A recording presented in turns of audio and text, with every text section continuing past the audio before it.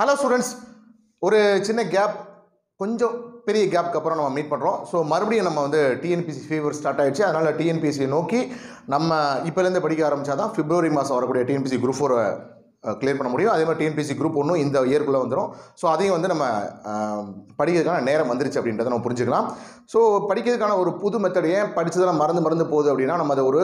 லாஜிக்காகவும் ஒரு கான்செப்டாகவும் ஒரு ஸ்டோரியாகவும் நம்ம படிச்சுட்டு அந்த இயர்ஸை வந்து ஞாபகம் வச்சுட்டோம் அந்த லாஜிக்ஸை ஞாபகம் வச்சுட்டோம்னா அப்படின்னா நம்ம ஸ்டே ஸ்டேட்மெண்ட் பேஸ் பண்ண கொஷின்ஸ்க்கும் இயர் பேஸ் பண்ணக்கூடிய கூடிய கொஷின்ஸ்க்கும் நம்ம ஈஸியாக ஆன்சர் பண்ணிடலாம் ஸோ இன்றைக்கி ஒரு ஒரு புது முயற்சியாக ஒரு ஸ்டோரி பேஸ் பண்ணி இந்த மூணு இதையும் நம்ம பேசிக்காக புரிஞ்சுக்கிறதுக்கான ஒரு ஒரு புதுசாக படிக்கிறவங்களுக்கு இந்த வீடியோ பார்த்தீங்க அப்படின்னா இந்த மூணு சப்ஜெக்ட்டும் ஓ இவ்வளோ இந்த வழியில் இதை படித்தா ஈஸியாக படித்து முடிச்சிடலாமான்ற ஒரு தாட் ஏற்படும் அப்படின்றத நம்புகிறேன் ஸோ நம்ம ஸ்டார்ட் பண்ணுவோம் இது என்ன TNPSC story history INM polity so ஹிஸ்ட்ரியிலேருந்து தான் ஐஎன்எம் வருது ஐஎன்எம்லேருந்து தான் பாலிட்டி வருது ஸோ எல்லாமே வந்து ஒரே சப்ஜெக்ட் தான் அப்படின்றத நம்ம புரிஞ்சுக்கலாம் ஓகே ஸோ நம்ம எங்கே இதை ஸ்டார்ட் பண்ணுறது சப்போஸ் இப்போ எங்கேருந்து ஸ்டார்ட் பண்ணுறது அப்படின்னா இப்போ நம்ம பாலிட்டி படிக்கணும்னா ஐஎன்எம் கொஞ்சம் கொஞ்சம் தெரியணும் ஸோ ஐஎன்எம் வந்து ஹிஸ்ட்ரியோட ஒரு நீட்சி அப்படி தானே ஸோ நம்ம சிந்து சமல் நாகரிகத்துலேருந்து படிக்கணுமா ஸோ தேவையில்லை பாலிட்டி படிக்கிறதுக்கு சிந்து சமல் நாகரிகம் படிக்க தேவையில்லை இந்த பாலிட்டியை படிக்கிறதுக்கு எந்த ஹிஸ்ட்ரி தேவை இந்த பாலிட்டியை படிக்கிறதுக்கு என்னென்ன ஐஎன்எம் தேவை ஸோ அதுக்கு பின்னாடி என்னென்ன ஸ்டோரிஸ் இருக்குது ஸோ அப்படின்றத பார்த்துடலாம் அப்போ நம்ம ரிவர்ஸில் கூட போகலாம் ஸ்டோரி தானே ஸ்டோரியை எப்படி வேணால் சொல்லலாம் ஸோ நல்லா பார்த்துக்குவோம் இப்போ நம்ம பாலிட்டி படிக்கிறோம்னா பாலிட்டிக்கு ஐஎன்எம் தேவையா ஸோ அப்போ ஐஎன்எம்லேருந்து என்னென்ன எடுத்துக்க முடியும் ஸோ அந்த ஐஎன்எம் வந்து ஐஎன்எம்னா இந்திய தேசிய காங்கிரஸ் இந்திய தேசிய இயக்கம் அப்படின்னு புரிஞ்சுக்கலாமா இந்திய நேஷனல் மூமெண்ட் அந்த இந்தியன் நேஷனல் மூமெண்ட் எங்கேருந்து ஸ்டார்ட் ஆகுது அந்த ஆரிஜின்லேருந்து நம்ம படிக்கணும் அந்த ஆரிஜின்லேருந்து படிக்கணும் இப்போ எக்ஸாம்பிளாக பார்த்தீங்கன்னா அப்போ இந்தியாவில் எப்படி வந்து பிரிட்டிஷ்காரங்க வந்தாங்க ஏன்னா பிரிட்டிஷ்காரங்க தான் நம்ம ரூல் பண்ணாங்க நம்மளை ஆட்சி பண்ணவங்க பிரிட்டிஷ்காரங்க அப்போ பிரிட்டிஷ் சம்மந்தப்பட்டது யார் யாரெல்லாம் வந்திருக்காங்க அப்போ இந்தியாவில் யார் அப்போ ஆட்சி பண்ணா ஸோ இந்தியாவில் யார் ஆட்சி நடந்துச்சுன்னா முகலாயர்கள் ஆட்சி நடந்துச்சா ஸோ இந்தியாவில் முகலாயர்கள் ஆட்சி நடந்துகிட்ருக்கு அந்த கேப்பில் தான் பிரிட்டிஷ்காரவங்க இந்தியாவுக்குள்ளே வராங்க அப்போ பிரிட்டிஷ்காரவங்க இந்தியாவுக்குள்ளே ஏன் வராங்க ஒரு கேள்வி நமக்குள்ளே வருது ஸோ ஏன் வராங்க இப்போ பிரிட்டிஷ்காரவங்க மட்டும்தான் இந்தியாவுக்குள்ளே வந்தாங்களா அப்படின்னா இல்லை பிரிட்டிஷ்காரவங்களுக்கு முன்னாடியே நிறைய பேர் வந்துட்டாங்க இப்போ எக்ஸாம்பிளாக பார்த்தீங்கன்னா சரி அவங்களாம் ஏன் ஃபஸ்ட்டு இந்தியாவுக்குள்ளே வரணும் இந்தியாவுக்குள்ளே ஏன் வரணும் அவங்களா ஸோ எதாவது காரணம் இருக்கும் இல்லையா அந்த காரணத்தை கண்டுபிடிச்சி நம்ம ஆரிஜினேட்டராக படித்தோம் அப்படின்னா நமக்கு எதுவுமே மறக்காது அப்போ ஏன் வராங்க அப்படின்னா இந்தியாவுக்கும் ஐரோப்பிய நாடுகளுக்கும் நீங்கள் வேர்ல்டு மேப்பில் பார்த்தீங்கன்னா வேர்ல்டு மேப்பில் அந்த உலக உருண்டை இருக்கும் இல்லையா அந்த உலக உருண்டையில் நிலநடுக்கோட்டுக்கு மேலே போயிட்டே இருந்தாங்கன்னா எல்லாமே கொஞ்சம் வெள்ளையாக இருப்பாங்க கீழே வந்துட்டே இருந்தாங்கன்னா கொஞ்சம் கருப்பாக இருப்பாங்க ரொம்ப கீழே போனாங்கன்னா ரொம்ப ரொம்ப கருப்பாக இருப்பாங்க அப்போ கருப்பாக இருக்கிறவங்களுக்கு கொஞ்சம் ஸ்கின் வந்து திக்னஸாக இருக்கும் அதாவது கொஞ்சம் ஸ்ட்ராங்காக இருப்பாங்க கொஞ்சம் வெள்ளையாக இருக்கவங்களுக்கு ஸ்கின் எல்லாமே கொஞ்சம் ரொம்ப சாஃப்டாக இருக்கும் அதனால் அவங்களுக்கு இம்யூனிட்டி பவர் கொஞ்சம் கம்மியாக இருக்கும் ஸோ அதன் அடிப்படையில் யூரோப்பியன் யூரோப்பியன்ஸ் இருக்காங்களே ஐரோப்பியர்கள் ஸோ ஐரோப்பியர்கள் எல்லாமே வந்து அவங்களுக்கு இந்தியா கூட பிஸ்னஸ் பண்ணக்கூடிய வாய்ப்பு அவங்களுக்கு தரைவழி வணிகம் நடக்குது தரைவழி வணிகம் எப்போலேருந்து நடக்குது நம்ம சிந்து சமவெளி நாகரிகம் காலகட்டத்திலேருந்து தரைவழி வணிகம் நடந்துகிட்ருக்கு சிந்து சமவெளிக்கும் அதாவது நம்ம இந்தியாவில் பஞ்சாபில் சிந்து அப்படின்ற இடத்துல இருக்கக்கூடிய அந்த பகுதியிலேருந்து ஈராக்கில் மெசபடோமியா அப்படின்ற ஒரு பகுதி உலகத்திலே உருவான முதல் நாகரிகம் மெசபடோமியா நாகரிகம் அந்த பகுதிக்கும் நம்ம சிந்து பகுதிக்கும் நடுவில் கிட்டத்தட்ட மூவாயிரம் கிலோமீட்டருக்கு அந்த மூவாயிரம் கிலோமீட்டரில் தரைவழி வணிகம் நடந்திருக்கு ஸோ அப்போ மேக்ஸிமம் எல்லா விதமான வணிகமும் தரை வழியாக நடந்திருக்கு அந்த காலகட்டத்தில் அந்த காலகட்டத்தில் நடந்துகிட்டே இருந்திருக்கு அப்படியே போயிட்டே இருந்திருக்கு இந்தியாவில் கிடைக்கக்கூடிய முக்கியமாக வந்து கேரளாவில் கிடைக்கக்கூடிய கரு மிளகு சுக்கு மிளகு திப்பிலி இந்த மாதிரி எல்லா விஷயங்களும் மஞ்சள் இதெல்லாம் யாருக்கு தேவைப்படுது வெளிநாட்டுக்காரங்களுக்கு தேவைப்படுது முக்கியமாக வெள்ளையர்களுக்கு தேவைப்படுது ஸோ அதனால் அவங்க இந்தியாவில் இந்தியாவில் வந்து வணிகம் நடத்திட்டே இருக்காங்க ஆரம்ப காலகட்டத்திலேருந்து ரோம் ரோம் காலகட்டத்திலேருந்து நம்ம படிச்சிருப்போம் நம்ம வந்து தமிழ் சமுதாய வரலாறில் நம்ம அந்த எவிடன்ஸ்லாம் நம்ம பார்த்துருக்கோம் யூனிட் எயிட் யூனிட் எயிட்டில் வரும் சரி ஓகே அப்போ இப்போ இப்படியே பிஸ்னஸ் பண்ணிட்டே போயிட்டுருக்காங்க ஸ்மூத்தாக போயிட்டுருக்கு அப்போ ஒரு கட்டத்தில் என்ன ஆகுதுன்னா ஒரு பிரச்சனை ஏற்படுது யார் யாருக்கு பிரச்சனை ஏற்படுதுன்னா முஸ்லீம்ஸ்க்கும் கிறிஸ்டின்ஸ்க்கும் ஏற்படுது என்ன பிரச்சனை ஏற்படுது அந்த இஸ்ரேலில் இருக்கக்கூடிய ஜெருசேலம் அப்படின்ற இடம் யாருக்கு சொந்தம் அது இஸ்லாமியர்களுக்கான பாரம்பரியம் அப்படின்றத அவங்க கிளைம் பண்ணுறாங்க இஸ்லாமியர்கள் சொல்கிறாங்க அதே மாதிரி இல்லை இல்லை இது வந்து இயேசுநாதர் அவதரிச்ச இடம்ன்ற மாதிரி ஒரு கான்செப்டில் கிறிஸ்டின் சொல்கிறாங்க அதனால் அந்த ஒரு பர்டிகுலர் பிளேஸ்க்காக முஸ்லீம்ஸ்க்கும் கிறிஸ்டின்ஸ்க்கும் பயங்கரமான அளவுக்கு சண்டை நடக்குது முஸ்லீம்ஸ்லாம் கையில் வந்து பெரிய வச்சுக்கிறாங்க கிறிஸ்டின்ஸ்லாம் வந்து கையில் வந்து சிலுவை வச்சுக்கிறாங்க எட்டு சிலுவை போர் நடக்குது கிட்டத்தட்ட நானூறு வருஷம் அந்த போர் நடக்குது அந்த நானூறு வருஷம் போர் முடிவில் என்ன ஆயிடுச்சு அப்படின்னா அது கிறிஸ்டியானிட்டிக்கு தான் சொந்தன்ற மாதிரி இந்த போரில் அவங்க ஜெயிச்சிடுறாங்க கிறிஸ்டின் ஜெயிச்சிடுறாங்க முஸ்லீம்ஸ் தோத்துடுறாங்க ஸோ அதனால் முஸ்லீம்ஸ்க்கு வந்து முஸ்லீம் நாடுகளுக்கு கிறிஸ்டின் நாடுகள் மேலே கொஞ்சம் கோவம் வருது அதனால் என்ன பண்ணுறாங்கன்னா இந்த கிறிஸ்துவ நாடுகள் முக்கியமாக சொல்லப்படக்கூடிய அந்த ஐரோப்பிய நாடுகள் தரை வழியாக வந்து இந்தியா கூட பிஸ்னஸ் பண்ணுறாங்க இல்லையா அந்த வழிகளை தடுக்கணும் அப்படின்னு சொல்லி அந்த வழிகளை தடுக்க பார்க்குறாங்க அப்போ மொத்தம் எத்தனை வழிகள் இருந்திருக்குன்னா மொத்தம் மூன்று வழிகள் இருந்திருக்கு அந்த காலகட்டத்தில் ஐரோப்பிய நாடுகள் இந்தியா கூட வந்து பிஸ்னஸ் பண்ணுறதுக்கு மொத்தம் மூன்று வழிகள் இருந்திருக்கு அந்த மூன்று வழிகளை கிபி எட்நூறுகள்லேயே ரெண்டு வழியை வந்து அடைச்சிட்டாங்க முஸ்லீம் நாடுகள் கிறிஸ்டின் நாடுகளுக்கு வழி விடாமல் அடைச்சிட்டாங்க மீறி ஒரே ஒரு வழி மட்டும் தான் இருந்துச்சு அந்த ஒரு வழி வழியாக பிஸ்னஸ் பண்ணிட்டு இருந்தாங்க அந்த ஒரு வழியை இப்போ ஆயிரத்தி நானூற்றி ஐம்பத்தி மூணு அந்த டைமில் துருக்கி பக்கத்தில் கான்ஸ்டான்டைன் அப்படின்ற ஒரு பகுதியில் அந்த வழி இருக்கும் அந்த வழியை ஆயிரத்தி நானூற்றி ஐம்பத்தி மூணில் அடைச்சிட்டாங்க இப்போ தரை வழி சுத்தமாக கிடையாது யாருக்கு ஐரோப்பிய நாடுகளுக்கு எங்கே வந்து பிஸ்னஸ் பண்ணால் இந்தியாவில் வந்து பிஸ்னஸ் பண்ண இந்தியாவில் வந்து பிஸ்னஸ் பண்ண எந்த வழியுமே கிடையாது அந்த டைமில் ஐயோ அப்போ இந்தியாவிலேருந்து கிடைக்கக்கூடிய பொருள்கள்லாம் நமக்கு இனிமேல் கிடைக்காம போயிடுமே இந்தியான்றது ஒரு பாரம்பரியமான ஒரு நாடாச்சு மூலிகை இப்போ நம்ம அந்த காலகட்டத்திலே சித்த மருத்துவம் யூனும் பல இது நம்ம அப்பயே நம்ம கண்டுபிடிச்சோம் இல்லையா ஸோ அதனால் அவங்க என்ன பண்ணுறாங்கன்னா எப்படியாவது நம்ம இந்தியா கூட பிஸ்னஸ் பண்ணி ஆகணும் ஆனால் தரை வழியை அவங்க வழியை விட மாட்டாங்க அப்போ எப்படி தான் நம்ம வந்து பிஸ்னஸ் பண்ணுறது அப்படின்னு சொல்லி நிறைய நாடுகள் முன்முயற்சி எடுக்கிறாங்க ஸோ கடல் வழியாக நம்ம போய் இந்தியா கூட பிஸ்னஸ் பண்ண என்ன அப்போ கடல் வழி புதுசாக கண்டுபிடிக்கணுமே அப்போ கடல் வழி யார் கண்டுபிடிக்கணும்னு சொல்லிட்டு நிறைய ஐரோப்பிய நாடுகள் முயற்சி பண்ணுறாங்க அதில் ரொம்ப அதிகமான அளவுக்கு முயற்சி பண்ணது போர்ச்சுக்கல் அப்படின்ற ஒரு நாடு அந்த போர்ச்சுக்கலோட இளவரசராக அப்போ ஒருத்தர் இருந்திருக்காரு அவர் பேர் வந்து ஹென்றி அப்படின்ற ஒரு நபர் அந்த ஹென்றி என்ன பண்ணுறாரு நிறைய நீச்சல் பள்ளிகள் நிறையா வந்து கட்டுமரங்கள்லாம் செஞ்சு பயங்கரமான அளவுக்கு ட்ரைனிங் கொடுக்குறாரு எல்லாத்துக்குமே ஸோ எல்லாத்துக்குமே ட்ரைனிங் கொடுத்து அதில் ஒரு மிக தேர்ந்த ஒரு நபரை வந்து இந்தியாவுக்கு வந்து வழி கண்டுபிடிச்சிட்டு வாங்க அப்படின்னு சொல்லி அனுப்பிச்சி வைக்கிறாரு இளவரசர் ஹென்றி அந்த இளவரசர் ஹென்றி யார் அமுச்சு விட்டார் முதல்ல அப்படின்னு பார்த்தீங்கன்னா பார்த்தலோமியா டயஸ் அப்படின்ற ஒருத்தர் அனுப்பிச்சு விட்றாரு போர்ச்சுக்கல் நாட்டிலேருந்து அப்படியே ஒரு வழியை கண்டுபிடிச்சி வழி கண்டுபிடிக்கிறார் இந்தியாவுக்கு எங்கெங்கெல்லாம் கடல் வழியாக போயிட்டு எந்த வழியை கண்டுபிடிச்சி இந்தியாவுக்குள்ளே போகலாம் அப்படின்ற மாதிரி வழியை கண்டுபிடிக்கிறாரு அவர் அப்படியே நம்ம இந்தியா எங்கே இருக்குமா ஸோ இந்தியா எங்கே இருக்கும் சவுத் ஆஃப்ரிக்கா இங்கே இருக்கும் இங்கே வந்து யூரோப்பியர் இங்கே இருக்குன்னு வச்சுக்கோம் அவர் இப்படியே இங்கே வராரு வந்து இப்படி வளையும் போது இந்த இடத்துல வந்து புயல் தாக்கிடுச்சு புயல் தாக்கினால அவரால் ஃபர்தராக வந்து இந்தியாவுக்கு வர முடியல ஆனால் இந்த இடத்த கிராஸ் பண்ணால் இந்தியாவுக்குள்ளே போயிடலாம் அப்படின்ற ஒரு கான்ஃபிடன்ஸ் வந்திருக்கு அதனால் அந்த கார்னருக்கு பேர் என்ன சொல்கிறாங்கன்னா கான்ஃபிடன்ஸ் கார்னர் நன்னம்பிக்கை முனைன்னு சொல்கிறாங்க மோர் ஒரு அந்த இடத்துல வந்து புயல் தாக்கினால அந்த முனைக்கு வந்து புயல் முனைன்னு சொல்கிறாங்க அப்போ சைக்ளோன் கார்னர் அல்லது கான்ஃபிடன்ஸ் கார்னர் அப்படின்னு சொல்கிறாங்க அந்த இது தாண்டினா இந்தியாவுக்குள்ளே போயிடலாம் அப்படின்றத கண்டுபிடிச்சிட்டாரு ஆனால் அவரால் தாண்ட முடியல யாரால் தாண்ட முடியல பார்த்துள்ள டயர்ஸால் தாண்ட முடியல திருப்பி போயிட்டார் ஸோ இந்த இளவரசர் ஹென்றிக்கு ஒரு பெரிய கான்ஃபிடன்ஸ் வந்துருச்சு ஸோ அதனால் அதுக்கப்புறம் ஒரு ஒரு சில வருடங்களுக்கு அப்புறம் இன்னொருத்தர் அமைச்சு வைக்கிறாரு அவர் பேர் தான் வாஸ்கோடகாமா வாஸ்கோடகாமா வரும்போது அந்த புயல்லாம் ஒன்று அடிக்கல அதனால் அவர் கிராஸ் பண்ணி நேராக இங்கே நம்ம இந்தியா வந்துட்டார் ஸோ இந்தியாவில் கேரளா பகுதிக்கு வராரு ஸோ கேரளாவில்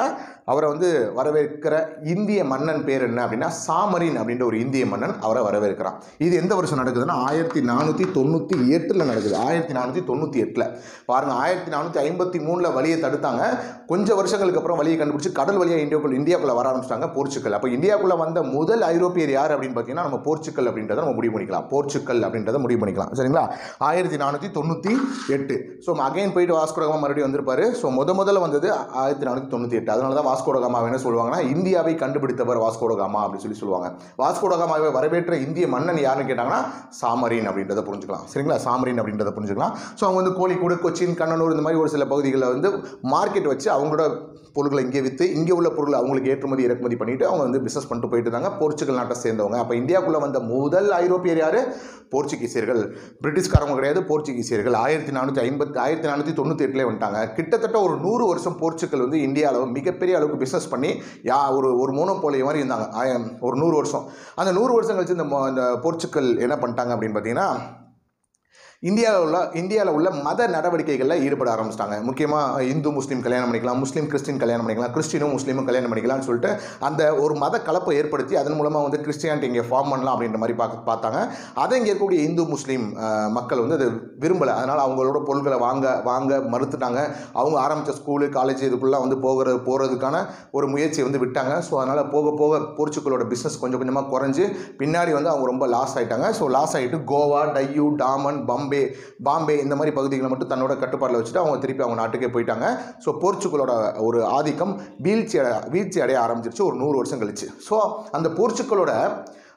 போர்ச்சுகல் ஒரு பெரிய பிஸ்னஸை க்ரியேட் பண்ணி ஒரு பெரிய ரோல் மாடலாக காமிச்சான் இல்லையா ஒரு பாதையை காமிச்சா அந்த பாதையை நம்ம யூட்டிலைஸ் பண்ணிக்கலாம் அப்படின்னு சொல்லிட்டு ஒரு சில நாடுகள்லாம் நினைக்கிது அந்த நாடுகள்லாம் யார் யாருன்னு பார்த்தீங்கன்னா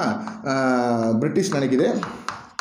ஓகேவா ஸோ பிரிட்டிஷ் நினைக்கிது ஸோ அதுக்கப்புறம் பார்த்தீங்கன்னா டென்மார்க் ஸோ டென்மார்க் நினைக்குது அதுக்கப்புறம் வந்து ஹாலந்து நினைக்குது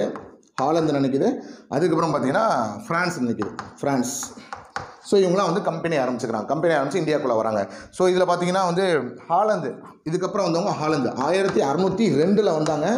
மார்ச் இருபது மார்ச் இருபதில் வந்தாங்க ஹாலந்து ஹாலந்து ஹாலந்து நாட்டை சேர்ந்தவங்களை என்ன சொல்லுவாங்கன்னா டச்சு டச்சுன்னு சொல்லுவாங்க டச்சுக்காரர்கள் சொல்லுவாங்க ஸோ டச்சு கிழக்கு இந்திய கம்பெனி தொடங்கப்பட்டது ஆயிரத்தி அறநூத்தி ரெண்டு மார்ச் இருபதப்போ தொடங்கினாங்க ஸோ அதுக்கப்புறம் பார்த்தீங்கன்னா பிரிட்டிஷ் ஆயிரத்தி அறநூறு டிசம்பர் முப்பத்தி ஒன்று ஆயிரத்தி அறநூறு டிசம்பர் முப்பத்தொன்னுக்கு அப்போ எது ஆரம்பித்தாங்க இந்த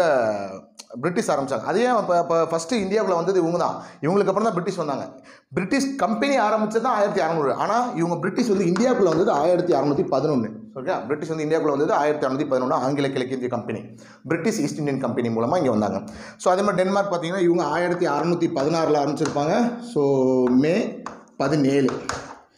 ஓகேவா ஸோ ஃப்ரெஞ்சு இந்த கம்பெனி வந்து ஆயிரத்தி அறுநூத்தி அறுபத்தி நாலு இவங்க தான் கடைசியாக இந்தியாவுக்குள்ளே வந்து ஒரு யூரோப்பியன்ஸ் ஃப்ரான்ஸ் அப்படின்றத நம்ம புரிஞ்சுக்கலாம் சரிங்களா அப்போ பாருங்கள் ஃபஸ்ட்டு போர்ச்சுகல் நாட்டுக்காரன் வந்திருக்கான் அதுக்கப்புறம் வந்து டென்மார்க் நாட்டை சேர்ந்த வந்திருக்கான் அதுக்கப்புறம் ஆயிரத்தி அறுநூத்தி பதினொன்று பிரிட்டிஷ் வந்திருக்கான் அதுக்கப்புறம் ஆயிரத்தி அறுநூத்தி பதினாறில் டென்மார்க் வந்திருக்கான் அதுக்கப்புறம் வந்து ஃப்ரான்ஸ் வந்து ஆயிரத்தி அறநூத்தி அறுபத்தி நாலில் வந்திருக்காங்க சரிங்களா ஆயிரத்தி அறநூத்தி அறுபத்தி நாலில் வந்திருக்காங்க அப்போ இதில் இந்த நாலு பேர்லேயும் எல்லாத்தையும் ஃபைட் பண்ணி ஜெயிச்சு கடைசி வரையும் நம்மளை வந்து ரூல் பண்ண யாருன்னா இந்த பிரிட்டிஷ் அது நமக்கே தெரியும் ஸோ பிரிட்டிஷ் அப்படி தானே ஸோ இந்த பிரிட்டிஷ் வந்து என்ன பண்ணுறான் ஆயிரத்தி அறநூறுல டிசம்பர் முப்பத்தி ஒன்றில் ஒரு கம்பெனி ஆரம்பிக்கிறான் அந்த கம்பெனியோட பேர் வந்து ஜான் கம்பெனி அந்த கம்பெனியோட பேர் வந்து ஜான் கம்பெனி ஒரு நூறு லண்டன் வியாபாரிகள் லண்டனில் இருக்கக்கூடிய மிகப்பெரிய பணக்காரங்க ஒரு நூறு பேர் சேர்ந்து ஆரம்பித்த ஒரு கம்பெனி தான் இந்த John company alias British East Indian company அந்த நூறு கம்பெனியும் நூறு பேர் சேர்ந்து அந்த ஆரம்பித்த கம்பெனிக்கு யார் வந்து பிஸ்னஸ் பண்ணிக்கோங்கன்ற ஒரு பெர்மிஷனை கொடுக்குறாங்க அப்படின்னா அப்போதே இருந்த இங்கிலாந்து ராணி ஃபஸ்ட் எலிசபெத் முதல் எலிசபெத் தான் வந்து அவங்களுக்கு பிஸ்னஸ் பண்ணுறதுக்கான பர்மிஷன் கொடுக்குறாங்க ஆயிரத்தி அறநூத்தி பதினொன்றில் இந்தியா கூட போய் நீ பிஸ்னஸ் பண்ணிக்கலாம் அப்படி சொன்ன ராஜா யார் அப்படின்னு பார்த்தீங்கன்னா ஃபர்ஸ்ட் ஜேம்ஸ் ஃபர்ஸ்ட் ஜேம்ஸ் தான் ஒரு கடிதம் அனுமதி கடிதத்தை கொடுக்குறாரு அந்த கடிதத்தை வாங்கி இந்தியாக்குள்ளே வந்த ஒரு நபர் தான் யாருன்னு பார்த்தீங்கன்னா வில்லியம் ஹாக்கின்ஸ் அப்படின்னு சொல்லி சொல்லலாம் அந்த வில்லியம் ஹாக்கின்ஸ் கொண்டு வந்த பிஸ்னஸ் ப்ரப்போசல் வந்து யாருக்கு பிடிக்கல அப்படின்னா அப்போதே இந்தியாவோட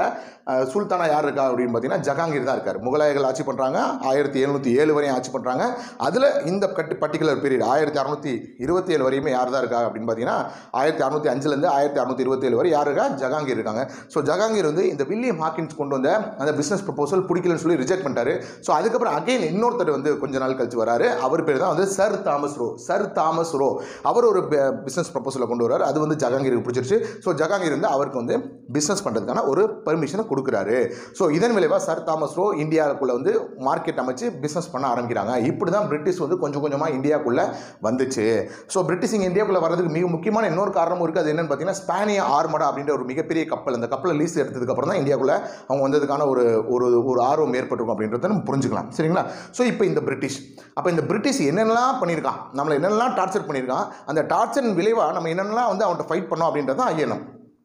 அவன் என்னென்ன சட்டங்கள்லாம் நம்மளை ஏற்றினா அந்த சட்டங்கள் மூலமாக நம்மளை எப்படி அவன் சரி நம்மளை எப்படி ஆட்சி பண்ணால் அந்த சட்டங்களை இன்றைக்கி நம்ம என்னென்னலாம் வச்சு யூஸ் பண்ணுறோம் அதுக்கேற்ற மாதிரி இன்றைக்கி நம்ம எக்ஸ்ட்ரா என்னென்ன சட்டங்களாக போட்டிருக்கோம் அப்படின்றது தான் இந்தியன் பாலிட்டி ஸோ இப்போ நான் சொன்னது ஹிஸ்ட்ரி அதுலேருந்து ஐஎன்எம் வருது அதுலேருந்து இந்தியன் பாலிட்டி வருது ஸோ ஓகே அப்போ பிரிட்டிஷ் வந்து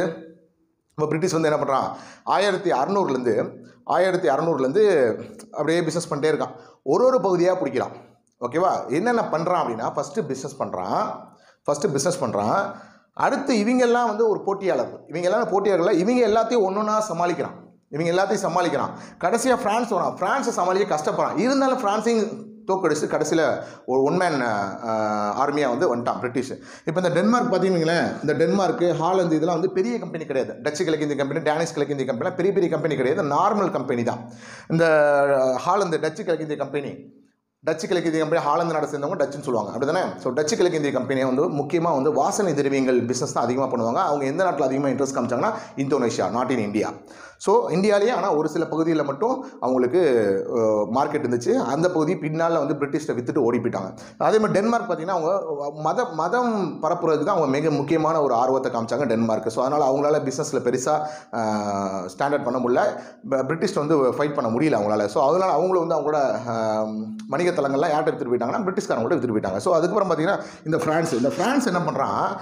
உலக உலகத்திலே நம்பர் ஒன் நாடாக வந்து பிரிட்டிஷ் மாறி இருக்குது நம்ம நம்பர் டூவில் இருக்கும் அப்போ நம்ம நம்பர் ஒன்று போகிறதுக்கு என்ன பண்ணுவோம் பிரிட்டிஷ் என்ன செய்யணும்னா அது எல்லாத்தையும் நம்ம அவனோட அதிகமாக பண்ணணும் அப்படின்ற மாதிரி நினைக்கிறாங்க இப்போ பிரிட்டிஷ் ஜெயிச்சதுக்கு முக்கிய மிக முக்கியமான காரணமாக என்ன நினைக்கிறாங்க அப்படின்னா அந்த ஆங்கில கிழக்கு இந்த கம்பெனி தான் அப்படின்றத நினைக்கிறாங்க ஸோ அதன் விளைவாக பிரிட்டிஷோட அமைச்சர் என்ன சொல்கிறாருன்னா நம்மளும் இந்த மாதிரி ஒரு கம்பெனி ஆரம்பிக்கணும் ஃப்ரெஞ்சு கிழக்கு இந்திய கம்பெனி ஆரம்பித்து நம்மளும் இந்தியா கூட போய் பிஸ்னஸ் பண்ணி நம்ம பிரிட்டிஷை தோக்கடிச்சு நம்ம வேர்ல்டில் நம்பர் ஒன் கண்ட்ரியாக மாறணும் அப்படின்ற ஒரு ஐடியாவை கால்பர்ட் பிரிட்டிஷோட ஃப்ரான்ஸோட அமைச்சர் கால்பர்ட் அவங்க ராஜாட்ட போய் சொல்கிறார் அந்த விஷயத்த அவங்க ராஜாட்ட அந்த ஐடியாவை கொடுக்குறாரு அந்த ராஜாவோட பேர் என்ன அப்படின்னு பார்த்தீங்கன்னா பதினான்காம் லூயி ஃபோர்டீன்த் லூயிட்ட போய் சொல்கிறார் ஃபோர்டீன்த் லூயி என்ன பண்ணுறாரு அவர் தான் பிரிட்டிஷில் வந்து ஃப்ரான்ஸில் வந்து ரொம்ப ரொம்ப புகழ்பெற்ற ஒரு ராஜான்னு சொல்லி சொல்லலாம் அந்த பதினான்காம் லூயி ஓகேன்னு சொல்லிடுறாரு அதன் விளைவாக ஆயிரத்தி அறுநூற்றி அறுபத்தி நாலில் பிரெஞ்சு கிழக்கிந்திய கம்பெனின்னு ஒரு கவர்மெண்ட் கம்பெனி ஆரம்பிக்கப்படுது இந்த பிரெஞ்சு கிழக்கிந்திய கம்பெனிக்கும் இந்த பிரிட்டிஷ் கிழக்கிந்திய கம்பெனிக்கும் மிகப்பெரிய அளவு போட்டி நடக்குது அந்த போட்டி போட்டி வந்து டேரெக்டாக சண்டை போட முடியாது ஸோ டேரெக்டாக சண்டை போட முடியாதுன்றனால இங்கே இருக்கக்கூடிய ஒரு ரெண்டு ராஜாக்கள் சண்டை போடுவாங்களே அதில் ஒரு ராஜாட்ட இவன் போய் சேர்ந்துக்குவான் பிரிட்டிஷ் சேர்ந்துக்குவான் இன்னொரு ராஜாட்ட போய் ஃப்ரான்ஸ் போய் சேர்ந்துக்குவான் அந்த ரெண்டு பேரையும் சண்டை மூட்டி விடுவானுங்க சண்டை போட்டு அந்த ரெண்டு பேரில் எவன் தோக்குறானோ எவன் ஜெயிக்கிறானோ அப்படிங்கும்போது இவங்களுக்கு அந்த லாபம் கிடச்சிரும் எவன் தோக்குறானோ அந்த சைடில் இப்போ இப்போ நான் வந்து பிரிட்டிஷ்காரன் நான் பிரிட்டிஷ்காரனாக இருக்கேன் நீங்கள் வந்து ஒரு ராஜாவாக இருக்கீங்க உங்களுக்கு இன்னொருத்தன் எதிரியாக இருப்பான் அப்போ நான் பிரிட்டிஷ்காரனாக இருக்கும்போது நான் உங்களுக்கு சப்போர்ட் பண்ணுவேன் அப்போ நீங்கள் அவனை ஜெயிச்சிட்டீங்க அப்படின்னா அவன் அவனோட ஊர்லேயும் எனக்கு வந்து பிஸ்னஸ் பண்ணுறதுக்கான வாய்ப்பை எனக்கு வழங்குவீங்க அதனால் உங்களுக்கு நான் ஆயுதம் கொடுத்து பணம் கொடுத்து சப்போர்ட் பண்ணுவேன் அப்போ பிரிட்டிஷ்காரன் நான் வந்து உங்களுக்கு சப்போர்ட் பண்ணுறேன் அப்படின்னா உங்களோட எதிரிக்கு வந்து ஃப்ரான்ஸ்காரன் சப்போர்ட் பண்ணுவான் ஸோ இப்படி தான் நடக்கும் அப்போ ஒரு போர்களில் ஒரு இன்டைரக்ட் ஒரு ஒரு ஒரு என்ன சொல்ல ஹிடன் அஜெண்டாக வச்சுட்டு உட்காந்துருப்பாங்க இந்த பிரிட்டிஷ்காரனும் ஃப்ரான்ஸ்காரனும் அதன் விளைவாக நிறைய போர்கள் நடந்திருக்கு ஸோ என்னென்ன போர்கள்னால் கர்நாடகா பேஸ் பண்ணி ஒரு மூணு போர் நடந்திருக்கும் ஸோ முதல் கர்நாடக போர் இரண்டாவது கர்நாடக போர் மூன்றாவது கர்நாடக போர் அதே மாதிரி மகாராஷ்டிரா பேஸ் பண்ணி ஒரு மூணு போர் நடந்திருக்கும் முதல் மராத்திய போர் இரண்டாவது ஆங்கில மராத்திய போர் மூன்றாவது ஆங்கில மராத்திய போர் அதே மாதிரி மைசூர் பேஸ் பண்ணி நாலு போர் நடந்திருக்கும் முதல் ஆங்கில மைசூர் போர் இரண்டாவது ஆங்கில மைசூர் போர் மூன்றாவது ஆங்கில மைசூர் போர் நான்காவது ஆங்கில மைசூர் போர் ஸோ அதே மாதிரி கல்கத்தா பேஸ் பண்ணி ரெண்டு நடந்திருக்கும் ஸோ என்னென்னு பார்த்தீங்கன்னா ஃபஸ்ட்டு வந்து ஒன்று பிளாசி போர் ஆயிரத்தி எழுநூற்றி ஐம்பத்தி ஏழு ரொம்ப முக்கியமான ஒரு இது ஜூன் இருபத்தி மூணு சரிங்களா அதே மாதிரி வந்து இன்னொன்று வந்து பக்சார் போர் அக்டோபர் இருபத்தி ரெண்டு நினைக்கிறேன் ஆயிரத்தி எழுநூத்தி அறுபத்தி நாலு பக்சார் போர் இந்த ரெண்டு போருமே வந்து கல்கத்தாவை ஒரு ஒரு ஒரு என்ன சொல்கிறது ஆங்கிலேயர் கட்டுப்பாட்டில் கொண்டு போகணுன்றனால உருவாக்கின போர் இந்த போர் ஸோ இது மட்டும் இல்லாமல் கூர்க்கர்களோட போர் போட்டு போர் புரிஞ்சிருப்பாங்க பிண்டாரிகளோட போர் புரிஞ்சிருப்பாங்க ஸோ இந்த மாதிரி நிறைய போர்களில் ஈடுபட்டு ஃப்ரான்ஸ் வந்து கொஞ்சம் கொஞ்சமாக வீக்கன் ஆகிருப்பாங்க பிரிட்டிஷ் வந்து கொஞ்சம் கொஞ்சமாக ஸ்ட்ராங் ஆகிட்டு நிறைய இடத்துல பிஸ்னஸ் பண்ணக்கூடிய வாய்ப்பை ஃப்ரான்ஸ் பிரிட்டிஷ் வந்து பெற்றிருப்பாங்க அதன் விளைவாக ஃப்ரான்ஸ் வந்து பிரிட்டிஷ் வந்து தோக்கு அப்படின்றத புரிஞ்சுக்கலாம் ஃப்ரான்ஸும் கொஞ்சம் கொஞ்சம் நம்ம இந்தியா விட்டு போயிடுது ஏன்னா எத்தனை நாள் தான் அவன் லாஸை பார்த்துட்டே இருப்பான் ஸோ தொடர்ச்சியாக லாஸ் வரனால அவனும் என்ன பண்ணிட்டான் இந்தியா விட்டு போயிட்டா ஸோ இப்போ இந்தியாவில் ஒன் மேன் ஆர்மியாக ஒரு மோனோபோலியாக யார் வளர்ந்து நிற்கிறா அப்படின்னா பிரிட்டிஷ் வளர்ந்து நிற்கிறான் ஸோ பிரிட்டிஷ் வளர்ந்து நிற்கும் போது அவன் அடுத்த கட்டத்தில் வந்து நிறைய ராஜாக்கள் வந்து ரொம்ப டம்மியாக இருக்கும்போது அந்த ராஜாக்கள்கிட்ட அவன் வந்து அந்த ஊர்களில் இடத்தையும் வாங்கிக்கிறான் இடத்த வாங்கிட்டு வெறும் பிஸ்னஸ் மட்டும் பொருள்களை மட்டும் விற்க வாங்க வந்தவன் இப்போ என்ன பண்ணுறான் அப்படின்னா இடத்த சொந்தமாக்கிக்கிட்டு அந்த இடத்துல வந்து ஏழை விவசாயிகளை வந்து விவசாயம் பண்ண விட்டு அதன் மூலமாக வரி வாங்குகிறான் ஒரு சாதாரண கடை வச்சிருந்தவன் இப்போ என்ன அவன் கவர்மெண்ட்டாக மாற ட்ரை பண்ணுறான் கொஞ்சம் கொஞ்சமாக கொஞ்சம் கொஞ்சமாக கவர்மெண்ட் மாதிரி மாற ட்ரை பண்ணுறான் ஸோ அப்போ அவனுக்கு என்ன ஆகும் நிறைய கேபிட்டல்ஸ் அவனுக்கு வேணும் நிறைய இடங்கள் வேணும் தலைமை இடம் வேணும் அவன் வச்சு இயங்குறதுக்கு அவனுக்கு ஒரு ஒரு ஒரு ஒரு தலைநகரம் மாதிரி ஒரு இடம் வேணும் அப்போ அந்த இடத்த உருவாக்கணுன்ற ஒரு முன்முயற்சியில் அவன் ஆரம்பத்துலேருந்து இறங்க ஆரம்பிச்சிட்டான் ஸோ எக்ஸாம்பிளாக பார்த்தீங்கன்னா ஃபஸ்ட் அவன் சவுத் இந்தியாவுக்கு தானே வந்தான் அப்போ முத முத எதை உருவாக்கியிருப்பான் சென்னை தான் உருவாக்கியிருப்பான் so Chennai so first Chennai so Chennai எப்போ உருவாக்குறான் ஆயிரத்தி அறநூற்றி முப்பத்தி ஒன்பதில் பிரான்சிஸ் டே மற்றும் கோபன் அப்படின்ற ரெண்டு பேர்கிட்ட இருந்து சென்னப்ப நாயக்கர் அப்படின்ற ஒரு கேள்விப்பட்டிருப்பீங்க ஸோ அந்த அந்த சென்னப்ப இருந்து தான் அவங்க யார் அப்படின்னா விஜயநகர பேரரசில் ஒரு அங்கமாக இருந்த ஒரு சின்ன ராஜா அவங்கள்ட்ட இருந்து வாங்கின பகுதி தான் இந்த சென்னை அப்படின்ற ஒரு பகுதி ஃப்ரான்சிஸ் டே வாங்கியிருப்பார் அதுக்கு வந்து சென்னைன்னு பேர் வச்சுருப்பாங்க எப்போ ஆயிரத்தி அறநூற்றி முப்பத்தி ஒன்பதில் சென்னை உருவாக்கப்பட்டுச்சு புரிஞ்சுக்கணும் இப்போ முத முதல்ல சென்னை அடுத்து பார்த்தீங்கன்னா பம்பாய் அப்படி தானே பம்பாய் பம்பாய் ஆயிரத்தி அறநூற்றி அறுபத்தி ஒன்று ஒரு ஒரு சில இடங்களில் ஆயிரத்தி அறநூற்றி அறுபத்தி ரெண்டுன்னு போட்டிருக்கோம் ஆயிரத்தி அறநூற்றி அறுபத்தொன்று நம்ம புக்கில் இருக்குது அதை ஃபாலோ பண்ணிக்குவோம் ஸோ ஆயிரத்தி அறநூற்றி அறுபத்தொன்று பம்பாய் எப்படி வந்துச்சு பம்பாய் ஆட்டு இருந்துச்சு பம்பாய் வந்து போர்ச்சுகல்கிட்ட தானே இருந்துச்சு ஸோ போர்ச்சுக்கல் இதெல்லாம் விட்டு போனான்னு சொன்னேன் ஆமாம் கோவா டையூ டாமன் பாம்பே இதெல்லாம் வந்து விட்டுட்டு போனான்னு சொன்னேன் இல்லையா ஸோ அப்படி போகும்போது இப்போ என்ன ஆகுதுன்னா பிரிட்டிஷ் நாட்டில் வந்து ஒரு கல்யாணம் நடக்குது ஒரு மேரேஜ் நடக்குது அந்த மேரேஜ் வந்து யார் யார் நடக்குது பிரிட்டிஷ் இளவரசர் இரண்டாம் சார்லஸ்க்கும் போர்ச்சுகீஸ் இளவரசி கேத்தரினுக்கும் கல்யாணம் நடக்குது அப்படி கல்யாணம் நடக்கிறனால கேத்தரின்காக போர்ச்சுகீசியக்காரன் வந்து என்ன பண்ணுவான் சீதனம் கொடுக்கணும்னு நினைப்பானா கேத்தரின்காக இரண்டாம் சார்லஸ்க்கு தன்னோட பம்பாயவே சீதனம் கொடுத்துட்டான் அப்போ பம்பாய் யார்கிட்ட போயிடுச்சு இரண்டாம் சார்லஸ்ன்ற ராஜாட்ட போயிடுச்சு அந்த இரண்டாம் சார்லஸ் ராஜா என்ன பண்ணுறான் நம்ம வச்சுட்டு என்ன பண்ண போகிறோம் நம்ம இந்தியா இந்தியாவுக்கு இந்தியாவுக்கு போகிறோம் ஸோ இந்தியாவில் யாருக்கு அந்த ஆங்கில கிழக்கிந்திய கம்பெனி இருக்கா அவங்களுக்கு பேசாமல் ஆண்டுக்கு பத்து பவுண்டு வாடகைக்கு விட்டுறோம்னு சொல்லி ஆண்டுக்கு பத்து பவுண்டு வாடகைக்கு விட்டாங்க யாருக்கு இந்த பிரிட்டிஷ் கிழக்கிந்திய கம்பெனிக்கு இரண்டாம் சார்லஸ் ராஜா கொடுத்துட்டார் ஸோ அப்படி தான் வந்து இந்த பம்பாய் வந்து யாருக்கிட்ட போச்சுன்னா இந்த பிரிட்டிஷ் கிழக்கிந்திய கம்பெனி போச்சு ஆயிரத்தி அறுநூற்றி அறுபத்தி ஒன்றில் சரிங்களா அப்புறம் வேற என்னது கல்கத்தா ஸோ கல்கத்தா பார்த்தீங்கன்னா கல்கத்தா பார்த்தீங்கன்னா ஜாப் சார்னக் அவர் பேர் வந்து ஜாப் சார்னக் அவர் தான் கல்கத்தாவை உருவாக்கியவர் யார் அப்படின்னு சொல்லி கேட்பாங்க ஜாப் சார்னக் அந்த கல்கத்தா அப்படின்றது மொத்தம் மூணு சின்ன சின்ன கிராமங்கள் மூணு அந்த கிராமங்களை ஒன்றிணைச்சு சேர்த்து உருவாக்கப்பட்டது அந்த கல்கத்தா அப்படின்ற ஒரு ஒரு இடம் சரிங்களா அது என்னென்ன என்னென்ன மூணு கிராமங்கள் அப்படின்னு பார்த்தீங்கன்னா சுதநூதி காளிக்கட்டம் கோவிந்தப்பூர் இந்த மூன்று பகுதியும் மூன்று கிராமங்களையும் சேர்த்து உருவாக்குனது தான் இந்த கல்கத்தா அந்த கிராமத்தை உருவாக்குனவர் யார் அப்படின்னு பார்த்தீங்கன்னா ஜாப் சார்னக் எந்த வருஷம் உருவாக்குனாங்கன்னா ஆயிரத்தி தொண்ணூறு தொண்ணூறில் உருவாக்குனாங்க ஆயிரத்தி அறநூத்தி தொண்ணூறில் உருவாக்கினாங்க ஆயிரத்தி இரநூத்தி தொண்ணூறில் உருவாக்கினாங்க அப்போ சென்னை மும்பை கல்கத்தா மூணுமே உருவாச்சு அந்த சென்னை மும்பை கல்கத்தாவில் தான் பின்னாடி பல்கலை பல்கலைக்கழகங்கள் ஆரம்பிச்சிருப்பாங்க இந்த சென்னை மும்பை கல்கத்தாவில் தான் ஆயிரத்தி எட்நூற்றி அறுபத்தி ரெண்டில் சென்னை சென்னையில் உயர்நீதிமன்றம் ஆயிரத்தி எண்ணூற்றி அறுபத்தி ரெண்டு மும்பையில் கல்கத்தாவில் இதெல்லாம் வந்து ஆயிரத்தி எட்நூற்றி அறுபத்தி ரெண்டில் உயர்நீதிமன்றங்கள் அமைச்சிருப்பாங்க சரிங்களா உயர்நீதிமன்றங்கள் அமைச்சிருப்பாங்க ஸோ இந்த கல்கத்தா தான் கிட்டத்தட்ட ஆயிரத்தி தொள்ளாயிரத்தி பதினொன்று வரையுமே யாரோட கேபிட்டலாக இருந்துச்சு ஆயிரத்தி எழுநூற்றி அறுபத்தஞ்சிலேருந்து ஆயிரத்தி தொள்ளாயிரத்தி பதினொன்று வரையுமே பிரிட்டிஷோட கேபிட்டலாக இந்த கல்கத்தா தான் இருந்துச்சு ஆயிரத்தி தொள்ளாயிரத்தி பதினொன்றுக்கு அப்புறம் தான் டெல்லி வந்து கேபிட்டலாக மாறிச்சு அப்படின்றத நம்ம புரிஞ்சுக்கலாம் சரிங்களா ஓகே ஸோ இப்போ இப்படி இப்படி ஒவ்வொரு ஒவ்வொரு பகுதியாக போட்டாங்க இப்போ நீங்கள் பார்த்தீங்கன்னா இப்போ இந்த கல்கத்தா தானே அவங்க கேபிட்டல் அப்போ இந்த கல்கத்தா அவங்களுக்கு கிடச்சதுக்கு மிக முக்கியமான காரணம் என்ன பிளாசிப்பூர் பக்சார் போர் மிக முக்கியமான காரணம் என்ன பிளாசிப்பூர் பக்சார் போர்னு சொன்னேன் அந்த பிளாசிப்பூர் எப்போ நடந்துச்சு பிளாசிப்பூர் எப்போ நடந்துச்சு ஆயிரத்தி எழுநூற்றி ஐம்பத்தி ஏழில் நடந்துச்சு பிளாசிப்பூர் ஆயிரத்தி எழுநூற்றி ஐம்பத்தி ஏழு நடந்துச்சு அந்த பிளாசிப்பூரோட ஃபுல்லு ஃபுல் ஃபுல் இது நமக்கு தெரிஞ்சிடணும் அப்படி தானே அலிவர்தன் கான் அப்படின்னு ஒருத்தர் இருந்துறாரு அவரோட பேரன் தான் வந்து தோலா அந்த தோலா கல்கத்தாவோட ராஜாவாக இருக்கான் கல்கத்தாவோட நவாபாக இருக்கான் அந்த சிராஜு தோலாவுக்கு பிரிட்டிஷை பிடிக்கல தோலாவுக்கு பிரிட்டிஷை பிடிக்கல பிரிட்டிஷ் எப்படியாவது இங்கேருந்து அடிச்சு வெளியே வாட்டி விட்டுருன்னு நினைக்கிறான் அந்த டைமில் வந்து தோலா பிரிட்டிஷ் படையோட அதிகமான அளவுக்கு படையை வச்சிருக்கான் அப்போ தோலா மிகப்பெரிய படையை வச்சிருக்கான் பிரிட்டிஷ் அதோட கம்மியான படை தான் வச்சிருக்கு தோலாட்ட சண்டை போட்டால் கண்டிப்பாக நம்மளால் ஒரு வெற்றி அடைய முடியுமா முடியாதான்ற ஒரு குழப்பத்தில் பிரிட்டிஷ் இருக்குது ஸோ அந்த டைமில் வந்து சிராஜு தோலாட்ட இவங்க என்ன பண்ணுவாங்க எல்லா இடத்துக்கு போனாலும் வந்து இலவச அனுமதி சீட்டு நான் உன்ட்ட நீ எனக்கு இலவச அனுமதி சீட்டு வழங்கணும் அந்த இலவச அனுமதி சீட்டு வழங்கினேன் அப்படின்னா நான் வந்து உன் இடத்துல வந்து உன் நாட்டில் வந்து பிஸ்னஸ் பண்ணிக்கிறேன் ஆனால் உனக்கு உனக்கு வந்து வாடகை அதெல்லாம் கொடுக்க மாட்டேன் அப்படி சொல்லி மிரட்டி வந்து பிஸ்னஸ் பண்ணுவாங்க பிரிட்டிஷ் பிரிட்டிஷ்காரவங்க அந்த இலவச அனுமதி சீட்டுக்கு என்ன பேர் வச்சிருக்காங்க டஸ்டக் அப்படின்ற ஒரு பேர் வச்சிருக்காங்க அந்த டஸ்டக்ன்ற இலவச அனுமதி சீட்டை நான் உனக்கு தரமாட்டேன் அப்படி சொல்லி யார் சொல்கிறா சிராஜ் உதவுலா சொல்கிறான் அப்போ சிராஜ் உதவுலா தரமாட்டேன்னு சொல்கிறனால மீண்டும் மீண்டும் இவங்க சிராஜ் உதவுலாட்ட போய் கேட்குறாங்க அப்போ கிட்டத்தட்ட நூற்றி நாற்பத்தாறு பேர் போகிறாங்க சிராஜ் உதவுலாட்ட கேட்குறதுக்கு பெர்மிஷன் கேட்குறதுக்கு அந்த உச்சகட்டமாக கோபம் அடைஞ்ச சிராஜ் உதவலா வங்காள நவாபான சிராஜுதோலா அந்த நூற்றி நாற்பத்தாறு பேரையும் ஒரு க ஒரு இருட்டான ஒரு ரூமில் காற்று கூட உள்ளே போகாத ரூமில் போட்டு அடைச்சி வச்சு அவங்கள இது பண்ணிட்டான் ரொம்ப நாள் கழிச்சு திறந்து பார்த்தா நூற்றி இருபத்தி மூணு பேர் இறந்து போயிட்டாங்க இருபத்தி மூணு பேர் மூச்சுத்திணறி சாகர தருவாயில் இருக்காங்க இது பேர் தான் கல்கத்தா இருட்டாரி துயர சம்பவம்னு சொல்கிறாங்க அப்போ இவ்வளோ இவ்வளோ பெரிய சம்பவத்தை நிகழ்த்திட்டான் இந்த சிராஜுதோலா அப்போ கண்டிப்பாக இவனை நம்ம போர் புரிஞ்சு இவனை நம்ம தோக்கடிக்கணும் அப்படின்ற மாதிரி யார் நினைக்கிறா இந்த இரண்டாவது கர்நாடக போரில் உள்ள ஹீரோ மாதிரி வந்து ஆர்காட்டு நவாப்னு பேர் வாங்கினார்லே ராபர்ட் கிளைவ் அந்த ராபர்ட் கிளைவ் தான் இந்த பிளாசி போரில் வந்து சண்டை போட காத்திருக்காரு அப்போ ராபர்ட் கிளைவ் இருக்கார் ராபர்ட் கிளைவுக்கு ஒரு ரைட் ஹேண்ட் மாதிரி ஒரு படை தளபதி கிரேட் படை தளபதி வாட்சன் அப்படின்ற ஒருத்தர் கூட இருக்கார் அப்படியே அங்கே பார்த்தீங்க அப்படின்னா யாருக்கானா சிராஜு தோலாவோட படை தளபதி மீர் ஜஃபார் அப்படின்ற ஒருத்தர் இருக்கார் இந்த மீர் ஜஃபார் அப்படின்ற ஒரு தௌலாவோட வயசான ஒரு எக்ஸ்பீரியன்ஸான ஒரு சிராஜு தோலான்றவர் அப்போ தான் ராஜாவான ஒரு நபர் சிராஜு தௌலா அந்த மீர் ஜஃபாரை மதிக்க மாட்டான் பெருசாக மீர் ஜஃபார் கொஞ்சம் ஈகோவான ஒரு ஆள் ஸோ இந்த காலகட்டத்தில் அந்த சண்டை வருது அப்போ பிரிட்டிஷ்காரன் பார்க்குறான் இவங்க எவ்வளோ பெரிய படைப்பிரிவு வச்சுருக்காங்களே அப்போ எப்படியாவது இவனை பலமாக இருக்கிறவனை பலவீனமாக ஆக்கி அவனை தோக்கடிக்கிறது தான் பிரிட்டிஷோட டாக்டிக்ஸு அதான் பிரித்தாளும் சூழ்ச்சின்னு சொல்லுவாங்க அப்போ பிரித்தாளும் சூழ்ச்சியை பேஸ் பண்ணி நம்ம அவங்க ரெண்டு பேரும் பிரிக்கலாம் அவங்களுக்கு என்ன வீக்னஸ் இருக்குன்னு சொல்லி பாருன்னு சொல்லி அந்த வீக்னஸை ஃபுல்லாக அனலைஸ் பண்ணி பார்த்தா இந்த படை தளபதிக்கும் இந்த ராஜாக்கும் முட்டல் மோதல் இருக்குன்றத பிரிட்டிஷ்காரன் கண்டுபிடிச்சான் அதனால் அந்த படைத்தளபதி பழைய படைத்தளபதிகிட்ட ரகசியமாக ஒரு டீல் நடத்துகிறான் இந்த ராபர்ட் லைவ் என்ன சொல்கிறான் இந்த போரில் நீங்கள் எங்களுக்கு உதவியாக இருந்தீங்கன்னா இந்த படையை நீங்கள் இறக்காமல் இருந்தீங்கன்னா ஏன்னா படை இப்போ தளபதி சொன்னால் தானே படை இறங்கும் இறந்தீங்கன்னா எங்களுக்கு ஆதரவாக செயல்பட்டீங்கன்னா நாங்கள் சிராஜுத்தோலாவை தோக்கடிச்சுட்டு உங்களை ராஜாவாக்கிறோம் வங்காளத்துக்கு அப்படின்னு சொல்லி சொல்கிறாங்க இதன் விளைவாக மீர் ஜஃபாரும் அந்த படைப்பிரிவில் வந்து விலகிடுறான் அப்போ சிராஜுத்தோலாக்கும்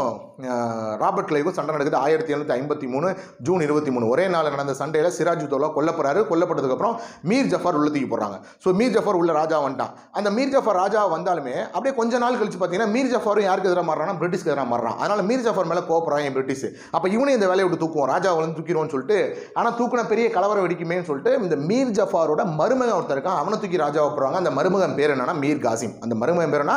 மீர் காசிம் அந்த மீர் காசிம் உள்ளே வந்து அவனும் ஆட்சி பண்ணுறான் அவனும் கொஞ்ச நாள் கழித்து பிரிட்டிஷ் வந்து இதுக்கு ஆரம்பிக்கிறான் அவன் என்ன பண்ணுறான் பக்கத்து அவனோட ஃப்ரெண்ட்ஸ் எல்லாம் பக்கத்தில் இருந்து கூப்பிட்டு வரான் அயோத்தி பகுதி ஆட்சி பண்ணால் ஷீஜா உத்தவ்லா கூப்பிட்டு வரான் அதே மாதிரி முகலாய அரசர் இரண்டாம் சாலம் கூப்பிட்டு வரான் ஒரு பெரிய கூட்டணி வச்சுக்கிட்டு பிரிட்டிஷ் வந்து அடிக்க வந்து வரான் அப்போ அவனையும் தோக்கடிச்சிடறான் அவன்கிட்டையும் சண்டை போகிறாங்க ஆனால் அவன் நாட்டை விட்டு தப்பிச்சு ஓடிறான் யார் மீர் காசிம் தப்பிச்சு ஓடிறான் அவன் ஃப்ரெண்ட்ஸ் ரெண்டு பேர் மாட்டிட்டாங்க அவங்களுக்கு வந்து ஓய்வூதியம் கொடுத்து ஃபைனை கொடுத்து அவங்கள அரெஸ்ட் பண்ணிட்டாங்க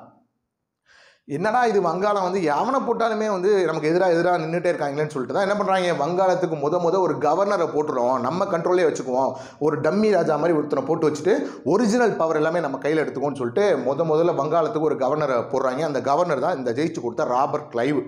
ராபர்ட் கிளைவ் வங்காளத்தோட முதல் கவர்னர் யார் ராபர்ட் கிளைவ் ஆயிரத்தி எழுநூற்றி அறுபத்தஞ்சில் நியமிக்கப்படுறாங்க ஸோ ஆயிரத்தி எழுநூற்றி அறுபத்தஞ்சிலேருந்து ஆரம்பித்த அந்த அந்த கவர்னரோட ரூலு ஆயிரத்தி தொள்ளாயிரத்தி நாற்பத்தி ஏழு நாற்பத்தி எட்டு வரையுமே மவுண்ட் பேட்டன் பிரபு இருக்கிற வரையுமே கிட்டத்தட்ட கவர்னர் ஆட்சியாக தான் இருந்திருக்கும் கவர்னர் வந்து பார்லிமெண்ட்டுக்கு ரிப்போர்ட் பண்ணுவாங்க பார்லிமெண்ட்டுக்கு மேலே அந்த பக்கம் யார் இருப்பாங்கன்னா அவங்க இங்கிலாந்து இங்கிலாந்தோட ராணி அல்லது ராஜா யாராவது இருப்பாங்க சரிங்களா இது அவங்கள அவங்களோட ஒரு ஃப்ளோ சார்ட் அப்போ என்னென்ன கவர்னர் வந்திருக்காங்க அந்த கவர்னர் என்னென்ன சட்டங்களை போட்டாங்க அந்த சட்டங்கள் என்னென்ன சட்டமாக மாறி நின்றுச்சு எப்படி கவுன்சிலில் நமக்கு இடம் கிடச்சிது அது மூலமாக எப்படி இந்த இந்தியன் கான்ஸ்டியூஷன் உருவாச்சு அப்படின்றத நம்ம இந்தியன் பாலிட்டியில் நெக்ஸ்ட் வரும் இப்போ நான் சொன்னது ஹிஸ்ட்ரியிலையும் ஐஎன்எம்மையும் சேர்த்து இப்போ இந்தியன் பாலிட்டியில் அடுத்து சட்டங்களாக ஒன்று சொல்ல போகிறேன் இது வந்து பேசிக் ஸ்டோரி சீரிஸ் தான் இதை நீங்கள் நல்லா பார்த்துட்டீங்கன்னா நீங்கள் எந்த அளவுக்கு ரிசீவ் பண்ணுறீங்களோ அதுக்கேற்ற மாதிரி நம்ம அடுத்த கிளாஸஸ் இருக்கும் சரிங்களா ஏன் ரொம்ப ஸ்பீடாக சொல்கிறேன்னா ஒரு கம்மியான நேரத்தில் அதிகமான அளவுக்கு சொல்லலாம் அப்படின்னு நினைக்கிறேன் ஸோ அதனால தான் ஓகே ஸோ என்னென்ன சட்டங்கள்லாம் போட்டிருப்பாங்க ஒழுங்குமுறை சட்டம் ஏன்னா இந்த ராபர்ட் கிளே வந்து வங்காளத்தோட ராஜா வந்திருப்பார் இல்லையா வங்க வங்காளத்தோட கவர்னராக வந்திருப்பார் கவர்னராக வந்ததுக்கப்புறம் என்ன இருப்போம் என்ன ஆயிருக்கும்னா ஒரிஜினல் பவர்லாம் இவர்கிட்ட இருக்கும் டம்மி பவர்லாம் ராஜாட்ட இருக்கும் அதனால் மக்களுக்கு எங்கிட்டு போகிறதுனே தெரியாது அப்போ மக்கள்லாம் பஞ்சத்தில் வாடுறாங்க மக்கள்லாம் பஞ்சத்தில் வாடும்போது அது வந்து ராபர்ட் கிளைவ் செஞ்ச ஒரு குற்றமாக பார்க்கப்படுது ஆனால் ராபர்ட் கிளைவ் வந்து வேலையை விட்டு தூக்கி விட்டாங்க அதுக்கப்புறம் வந்தவர் தான் நாசிக்ஸ் அவர் என்ன பண்ணுறாங்கன்னா வந்தோடனே வந்தவொடனே வந்து இரட்டையாட்சி முறையை வந்து ஒழிச்சிட்டாரு ஸோ அதன் விளைவாக பஞ்சம் வந்து கொஞ்சம் கொஞ்சமாக குறைய ஆரம்பிச்சுது அதன் விளைவாக வந்து என்ன பண்ணுறாங்கன்னா அவருக்கு வந்து ஒழுங்குமுறை சட்டம்னு ஒரு சட்டத்தை கொண்டு வந்து அவரை வங்காளத்தோட தலைமை கவர்னராக உருவாக்குறாங்க ஸோ ஒழுங்குமுறை சட்டம் என்ன சொல் என்ன பண்ணுது அப்படின்னு பார்த்தீங்கன்னா அது ஒரு சில ஒரு சில சீர்திருத்தங்கள் ஒரு சில சீர்திருத்தங்களாக செய்யுது ஒழுங்குமுறை சட்டத்தில் என்னென்ன விஷயங்கள் இருக்குது அந்த ஒழுங்குமுறை சட்டத்திலையும் ஒரு அதாவது வங்காளத்தோட தலைமை கவர்னருக்கு ஆளுக்கு ஆளுகைக்கு உட்பட்டவங்க தான் யார் அப்படின்னு பார்த்தி பார்த்தீங்கன்னா இவங்க யார் நம்ம சென்னை கவர்னர் மும்பை கவர்னர்லாம் அவர் சொல்கிறதா கேட்கணுன்ற மாதிரி வந்துட்டாங்க அப்போ அந்த கவர்னருக்குள்ள என்ன ஆகுது என்ன இவன் நம்ம நம்ம கூட இருந்தால் திடீர்னு இவன் பெரிய ஆள் இவன் சொல்கிறத நம்ம கேட்கணுமான்னு சொல்லிட்டு சென்னை கவர்னரும் மும்பை கவர்னரும் சொல்கிறத கேட்க மாட்டாங்க ஈகோ கிளாஷ் ஆகுது அப்போ நிர்வாகத்தில் சிக்கல் ஏற்படுது அப்போ இந்த ஒழுங்குமுறை சட்டத்தில் நிறைய குறைபாடுகள் இருக்குது அதே மாதிரி பார்த்தீங்கன்னா இவருக்கு உதவி செய்கிறதுக்கு நாலு பேர் இருக்காங்க ஆலோசனைக்குள்ள நாலு பேர் இருக்காங்க சீஃப் கவர்னர் இருப்பார் தலைமை கவர்னர் இருப்பாங்க வங்காளத்தில் அவருக்கு மேலே ஆலோசனை குழுன்னு ஒன்று இருக்கும் அட்வைசரி கமிட்டி அதில் நாலு பேர் இருப்பாங்க அந்த நாலு பேரில் ஒரு மெஜாரிட்டி அது அஞ்சு பேர் இவரே சேர்த்து அஞ்சு பேர் அந்த அஞ்சு பேரில் மூணு பேர் சொன்னால் தான் அந்த விஷயமே நடக்கும் அப்போ சீஃப் கவர்னருக்கு பாருங்கள் பவரே இல்லாத மாதிரி இருக்குது வெறும் போர் இந்த மாதிரி விஷயங்களில் மட்டும்தான் ராணுவம் இந்த மாதிரி விஷயங்களில் மட்டும்தான் அவர் தலையிடுற மாதிரி ஒரு விஷயமா இருந்துச்சு அதனால் வந்து ஒழுங்குமுறை சட்டம் கொஞ்சம் தப்பாக இருக்குது அந்த சட்டத்தை அப்படியே மாற்றணும்னு சொல்லிட்டு தான் பிட் இந்திய சட்டத்தை கொண்டு வந்தாங்க அப்போ ஒழுங்குமுறை சட்டத்தின் குறைபாடுகளை வந்த சட்டம் தான் பிட் இந்திய சட்டம் இளைய பிட் அப்படின்ற ஒரு ஒரு இங்கிலாந்தோட பிரதமரால் ஒரு கஷ்டப்பட்டு உருவாக்கப்பட்ட ஒரு சட்டம் தான் பிட் இந்திய சட்டம் அதே மாதிரி ஒழுங்குமுறை சட்டம் வந்து நார்த் புரூக் அப்படின்ற ஒரு இங்கிலாந்தோட பிரதமர் அவரால் உருவாக்கப்பட்ட சட்டம் தான் ஒழுங்குமுறை சட்டம் ஞாபகம் வச்சுக்கணும் சரிங்களா ஓகே ஸோ அடுத்து பார்த்தீங்க அப்படின்னா அப்போ அந்த பிட் இந்திய சட்டத்தை என்ன சொல்லுதுன்னா அந்த அட்வைசரி கமிட்டியில் நாலு பேர் இருக்காங்களே அதை மூணு பேரை குறைக்குது அவ்வளோதான் பண்ணுது வேறு எதுவுமே பண்ணல அப்போ ஒழுங்குமுறை சட்டத்தோட குறைபாடுகளை போக்க வந்த சட்டம் பிட் இந்திய சட்டமாக பார்க்கப்பட்டுச்சு ஆனால் பிட் இந்திய சட்டம் அந்தளவுக்கு ஒரு பாசிட்டிவ் சட்டமாக இல்லை ஃபெயிலியர் ஆயிடுச்சு அப்போ பிட்டிந்திய சட்டத்தை பெருசாக வந்து என்னடா இதுவும் டம்மியாக தான் இருக்குன்ற மாதிரி பண்ணிட்டாங்க அந்த டைமில் தான் கேரன் வாலிஸ் அப்படின்ற ஒரு மாபெரும் நபரை வந்து கூட்டிகிட்டு வராங்க ஸோ அவருக்கு வந்து இந்த டம்மியான இதெல்லாம் பிடிக்கல ஸோ அதனால் என்ன பண்ணுறாங்க சட்டத்தை வந்து திருத்துறாங்க ஆயிரத்தி எழுநூற்றி எண்பத்தி நாலில் பிட்டிந்திய சட்டம் ஆயிரத்தி எழுநூற்றி எண்பத்தி ஆறில் திருத்தப்பட்ட பிட்டிந்திய சட்டம் ஆயிரத்தி எழுநூற்றி எண்பத்தி ஆறில் நல்லா ஞாபகம் வச்சுக்கணும் அதில் என்ன பண்ணுறாங்கன்னா இப்போதைக்கு வந்து அட்வைசரி கமிட்டி மேலே இருக்காங்க இல்லையா நாலுலேருந்து மூணாக குறைச்சாங்களே அவங்க சொல்லக்கூடிய முடிவுகளை நிராகரிக்கவும் பவர் இருக்குது இந்த கவர்னருக்கு அப்படின்னு சொல்லி கவர்னரோட பவரை தூக்கிட்டாங்க திருத்தப்பட்ட பிடி சட்டத்தில் ஸோ அதனால் காரன் வாலிஸ்லாம் நிறைய விஷயங்கள் பண்ண முடிஞ்சுது ஸோ இப்படி அடுத்த ஒன் பை ஒன்னாக வந்திருப்பாங்க ஹாஸ்டிங்ஸ் பிரபு வெலஸ்லி பிரபு வில்லியம் பெண்டிங் பிரபு டல்லோசி பிரபு கானிங் பிரபு டப் டப்ரின் பிரபு ரிப்பன் பிரபு அப்படியே அப்படியே கடைசியாக வந்து மவுண்ட் பேட்டன் பிரபு வரையும் வந்திருப்பாங்க ஸோ அவங்களாம் என்னென்ன பண்ணாங்க அப்படின்றதெல்லாம் தனித்தனி ஐஎன்எம் வரலாறுல இருக்கும் ஸோ இந்த பிரபுக்கள்லாம் சேர்ந்து ஒரு சில சட்டங்களை உருவாக்கியிருப்பாங்க சட்டங்களோட ஆர்டரை மட்டும் தான் நான் இப்போ சொல்கிறேன் ஸோ ஒழுங்கு ஒழுங்குமுறை சட்டம் அடுத்து பிட்டிந்த சட்டம் அது திருத்தப்பட்ட பிட்டிந்த சட்டம் அடுத்து ஆயிரத்தி எழுநூற்றி தொண்ணூற்றி மூணில் என்ன பண்ணுறாங்கன்னா பட்டய சட்டம் கொண்டு வராங்க பட்டய சட்டம் எதுக்கு இந்த கம்பெனி இருக்குது கம்பெனி பட்டு பெருசாக வளர்ந்துட்டே போயிட்டுருக்கு அப்போ இதுக்கான ஒரு லிமிட்டேஷன் கொடுக்கணும் இல்லையா அப்படி என்ன தான் வளர்ந்தாலும் உனக்கு அதிகபட்சம் இருபது ஆண்டுகள் தான் உனக்கு லைசன்ஸ் பீரியடு இந்த கம்பெனியோட உரிமம் இருபது வருஷம் தான் முடிச்சதுக்கப்புறம் நீ மறுபடியும் அதை என்ன பண்ணுவோம் எக்ஸ்டெண்ட் பண்ணணும் ரெனவல் பண்ணணும் அப்படின்ற மாதிரி ஒரு சட்டத்தை கொண்டு வராங்க அதான் வந்து பிட்டின் அதான் வந்து பட்டய சட்டம் அதே மாதிரி இந்த பட்டய சட்டம் மத மதங்களுக்காகவும் ஒரு சில விஷயங்களை செய்ய ஆரம்பிக்குது பட்டய சட்டம் ஒவ்வொரு இருபது வருஷத்துக்கும் பட்டய சட்டம் வருது முதல் பட்டய சட்டம் வந்தது ஆயிரத்தி எழுநூற்றி தொண்ணூற்றி மூணு ஆயிரத்தி எழுநூற்றி தொண்ணூற்றி மூணில் முதல் பட்டய சட்டம் வந்திருக்கு சரிங்களா முதல் பட்டய சட்டம் முதல் பட்டய சட்டத்தில் என்ன பண்ணுறாங்கன்னா மத மதம் சார்ந்த விஷயங்கள்லாம் இப்போதைக்கு ரொம்ப தீவிரமாக செய்யாதீங்க அப்படின்னு சொல்லிட்டாங்க வேறு எதுவும் அந்தளவுக்கு செய்யலை ஆயிரத்தி எட்நூற்றி பதிமூணில் ரெண்டாவது பட்டய சட்டம் வருது அதில் வந்து என்ன பண்ணுறாங்க ஆண்டுக்கு ஒரு லட்சம் நிதி வந்து ஒதுக்குறோம் அப்படின்ற மாதிரி சொல்லிட்டாங்க ஆண்டுக்கு ஒரு லட்சம் நிதிக்கு ஒதுக்குறோன்னு சொன்னாங்க ஆனால் ஒதுக்கவே இல்லை சரிங்களா ஆனால் சொன்னது சொன்னாங்க அதே மாதிரி வேறு என்ன பண்ணாங்க மத போதகர்கள் இன்னும் கொஞ்சம் அதிகமாக வந்துக்கலாம் அப்படின்ற மாதிரி சொல்லிட்டாங்க ஸோ மத போதகர்கள் வராங்க ஆயிரத்தி எட்நூற்றி முப்பத்தி மூணு பட்டய சட்டத்தில் புதுசாக ஒருத்தரை சேர்க்குறாங்க ஆலோசனைக்குள்ளே மூணு பேர் இருந்தாங்களா நாலாவது உறுப்பினர் வராரு அவர் பேர் தான் மெக்காலே பிரபு அந்த மெக்காலே பிரபு தான் என்ன பண்ணுறாரு எல்லா இந்தியன்ஸும் வந்து வேறு வேறு மொழி பேசுகிறாங்க அதிகமாக சிந்திக்க மாட்டாங்க முட்டாளாக இருக்காங்க அவங்க எல்லாத்தையும் வந்து புத்திசாலியாக மாற்றணும் அப்போ அவங்க அதுக்கு ஒரே வழி எல்லாத்தையும் இங்கிலீஷை கற்று தர்றதான் அதனால் ஆட்சி மொழியை பாரசீகத்தை வந்து என்னவா மாற்றணும் ஆங்கிலமாக மாற்றணும்னு சொல்லிட்டு இங்கிலீஷை கொண்டு வராங்க ஆயிரத்தி எட்நூற்றி முப்பத்தி மூணு பட்டய சட்டத்தில் ரொம்ப முக்கியமான விஷயம் இந்த டைம்லலாம் வந்து நிறையா மத போதகர்கள் அதிகமாக வர ஆரம்பிச்சிட்டாங்க அடுத்து ஆயிரத்தி எட்நூற்றி ஐம்பத்தி மூணு பட்டய சட்டம் பார்த்தீங்கன்னா அது கல்விக்கும் அதிகமான அளவுக்கு இம்பார்ட்டன்ஸ் கொடுக்குது பிஷப் அவங்களாம் வந்து நியமனம் செய்யப்படுறாங்க ஆயிரத்தி எட்நூற்றி ஐம்பத்தி மூணு பட்டய சட்டத்தில் வந்து என்ன சொல்லப்பட்டிருக்கு அப்படின்னு பார்த்தீங்கன்னா ஒரு பெரிய இது இல்லை இருபது வருஷம் தான்ற மாதிரி சொல்லலை அடுத்து ஆயிரத்தி எண்ணூற்றி ஐம்பத்தி ஏழு மாபெரும் புரட்சி எல்லாமே சேர்ந்து சண்டை போட்டாங்களே மங்கள் பாண்டே இந்த வாரிசில் கொள்கையால் பாதிக்கப்பட்டவங்க வில்லியம் பெண்டிங் பிரபுவால் அந்த சதி அந்த மாதிரி விஷயங்களால் பாதிக்கப்பட்ட அடிப்படைவாதிகள் ஸோ இவங்கெல்லாம் அதே மாதிரி மங்கள் பாண்டே சொல்லப்படக்கூடிய அந்த இராணுவ புரட்சி ஸோ அதெல்லாம் ஒன்றா சேர்ந்து பெரிய ஒரு மாபெரும் புரட்சி ஆயிரத்தி எட்நூற்றி ஐம்பத்தி ஏழில் வந்துச்சு அதன் விளைவாக வந்து விக்டோரியா மகாராணி ஒரு பேரறிக்கையை கொடுக்குறாங்க அந்த பேரறிக்கையை காணிங் பிரபு என்ன பண்ணுறாரு அலகாபாத் தர்பாரில் பெருசாக மக்கள் முன்னாடி வாசித்து காமிக்கிறாரு அந்த அந்த இதில் மிக முக்கியமாக சொல்லப்பட்டது என்னென்னா இனிமேல் வந்து கா கவர்னர் ஜென்ரல்னு ஒரு போஸ்டிங் இருக்காது இனிமேல் வந்து உங்களுக்கு ஆதரவாக செயல்படக்கூடிய வைஸ்ராய் அப்படின்ற ஒரு போஸ்டிங் தான் இருக்க போகுது அப்படின்னு சொல்லி விக்டோரியா மகாராணி சொன்னாங்க அந்த வைஸ்ராய்க்கு உதவி செய்ய பதினைந்து பேர் கொண்ட இந்திய குழு இருக்கும் அப்படின்னு சொல்லி அப்படின்னு சொல்லிட்டாங்க அதே மாதிரி விக்டோரியா மகாராணியான நான் வந்து இனிமேல் இங்கிலாந்துக்கு மட்டும் கிடையாது இந்தியாவுக்கும் நான் ராணி தான் இனிமேல் உங்கள் பிரச்சனை ஏன்ட்டி கொண்டு வரலாம் அப்படின்ற மாதிரி ஆறுதல் வார்த்தைகளை கூறி மக்களை வந்து மட்டுப்படுத்தி அமைதிப்படுத்திட்டாங்க விக்டோரியா மகாராணி ஆயிரத்தி எட்நூற்றி ஐம்பத்தெட்டு மாபெரும் அந்த அந்த புரட்சியை வந்து அந்த ஒரு அறிக்கை மூலமாக வந்து கொஞ்சம் நீர் நீ நீர்த்திட்டாங்க அப்படின்றத நம்ம புரிஞ்சுக்கலாம் ஸோ அதுக்கப்புறம் ஆயிரத்தி எட்நூற்றி அறுபத்தி ஒன்றில் கவுன்சில் சட்டம் இந்தியர்கள்லாம் வந்து சட்டமன்றத்திலையும் சட்டத்தை உருவாக்கக்கூடிய இடத்துல இந்தியர்கள் இடம்பெறலாம் அப்படின்னு சொல்லி ஆயிரத்தி எட்நூற்றி அறுபத்தொன்று கவுன்சில் சட்டம் போட்டாங்க அதே மாதிரி ஆயிரத்தி எட்நூற்றி எண்பத்தி அஞ்சில் இந்திய தேசிய காங்கிரஸ்னு சின்ன சின்ன அமைப்புகள்லாம் சேர்ந்து பெரிய அமைப்பாக உருவாச்சு அந்த இந்திய தேசிய காங்கிரஸோட முதல் ஒரு வெற்றியாக பார்க்கப்படக்கூடிய சட்டம் ஆயிரத்தி எட்நூற்றி தொண்ணூற்றி ரெண்டு இந்திய கவுன்சில் சட்டம் அதன் அந்த அந்த சட்டத்தில் தான் என்ன பண்ணாங்கன்னா முத முத மறைமுக தேர்தலை இன்ட்ரடியூஸ் பண்ணாங்க மறைமுக தேர்தல் முத முத இன்ட்ரடியூஸ் பண்ணது ஆயிரத்தி எட்நூற்றி தொண்ணூற்றி ரெண்டு கவுன்சில் சட்டம் அதுக்கப்புறம் ஆயிரத்தி தொள்ளாயிரத்தி ஒன்பது ஒரு கவுன்சில் சட்டம் அது மிண்டோ மார்லி சட்டம்னு சொல்கிறாங்க வந்தாங்க முஸ்லீம்களுக்கு தனி இடஒதுக்கீடு அந்த டைமில் தான் முத முத தனி தொகுதியை கொண்டு வந்தாங்க அப்படின்றத புரிஞ்சுக்கலாம் நேரடி தேர்தல் முறை அறிமுகப்படுத்தப்பட்டது எப்படி ஆயிரத்தி தொள்ளாயிரத்தி ஒன்பது மிண்டோ மல்லி சட்டத்தில் தான் அப்படின்றத நம்ம புரிஞ்சுக்கலாம் அடுத்து ஆயிரத்தி தொள்ளாயிரத்தி பத்தொம்பது மாண்டேகு சிம்ஸ்போர்ட் சட்டம் அந்த மாண்டேகு சிம்ஸ்போர்ட் சட்டம் வந்து இந்தியாவில் வந்து தேர்தல்களை அறிமுகப்படுத்துச்சு அதே மாதிரி வந்து தனி தொகுதியாக தாழ்த்தப்பட்டவங்க கிறிஸ்டின்ஸு சீக்கியர்கள் இவங்களுக்கும்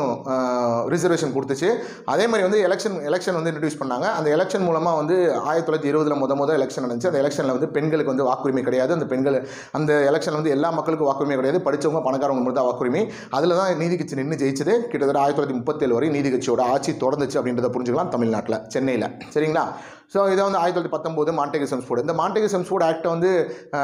அன்னி பெசன் அம்மையாரோ காந்தியோ யாருமே வந்து இது வந்து பெருசாக வந்து ஆதரிக்கலை ஏன்னா வந்து பிரிட்டிஷ்காரன் ஒரு சுயாட்சி கொடுக்குறன்ற மாதிரி சொல்லியிருந்தான் ஆனால் இது வந்து மு இது முழுக்க முழுக்க மனித தன்மையற்ற செயல் ரொம்ப ஏமாற்றிட்டான் நம்ப வச்சு ஏமாற்றிட்டான் ஏன்னா முதல் உலக போரில் ஈடுபட்டா உங்களுக்கு தேவையான விஷயங்களை பண்ணித்தரேன் ப்ராமிஸ் பண்ணிட்டு அந்த ப்ராமிஸை மீறிட்டான் பிரிட்டிஷ்காரன் சொல்லிட்டு எல்லாமே பிரிட்டிஷ் மேலே கோவப்பட்டாங்க அதன் விளைவாக தான் அதுக்கப்புறம் காந்தி வந்து அவரோட போராட்ட முறைகளை ரொம்ப தீவிரமாக கொண்டு போயிருப்பார் அப்படின்றத நம்ம புரிஞ்சுக்கலாம் ஸோ அதுக்கப்புறம் பார்த்தீங்கன்னா சைமன் கமிஷன் வருவாங்க ஆயிரத்தி தொள்ளாயிரத்தி இருபத்தி ஏழில் இதுவரை கொண்டு வந்த சட்டங்கள்லாம் எந்தெந்த எந்தெந்த அளவுக்கு மக்களால் வந்து பயன்படுத்தப்பட்டிருக்குன்னு பார்க்குறக்காக வருவாங்க அதன் விளைவாக அவங்க வந்து ரிப்போர்ட் கொடுப்பாங்க ஸோ பின்னாடி இந்த எல்லா சட்டங்களையும் சேர்த்து ஆயிரத்தி தொள்ளாயிரத்தி முப்பத்தஞ்சு இந்திய அரசு சட்டம்னு ஒன்று கொண்டு வராங்க அந்த இந்திய அரசு சட்டத்தில் மிக முக்கியமான வாய்ப்புன்னு பார்த்தீங்கன்னா சுயாட்சி மாநிலங்கள் சுயாட்சி மத்தியில் இரட்டையாட்சின்னு சொல்லுவாங்க அதன் விளைவாக காங்கிரஸ் ஆயிரத்தி தொள்ளாயிரத்தி முப்பத்தி ஏழில் முத முதலாக எலெக்ஷன் நிற்கும் அது வரைக்கும் காங்கிரஸ் எந்த தேர்தலையும் வந்து நிராகரிச்சிருக்கும் முன்னெல்லாம் தேர்தல் வந்து மூணு வருஷம் தான் அப்படின்னு புரிஞ்சுக்கலாம் ஸோ ஆயிரத்தி தொள்ளாயிரத்தி முப்பத்தி ஏழில்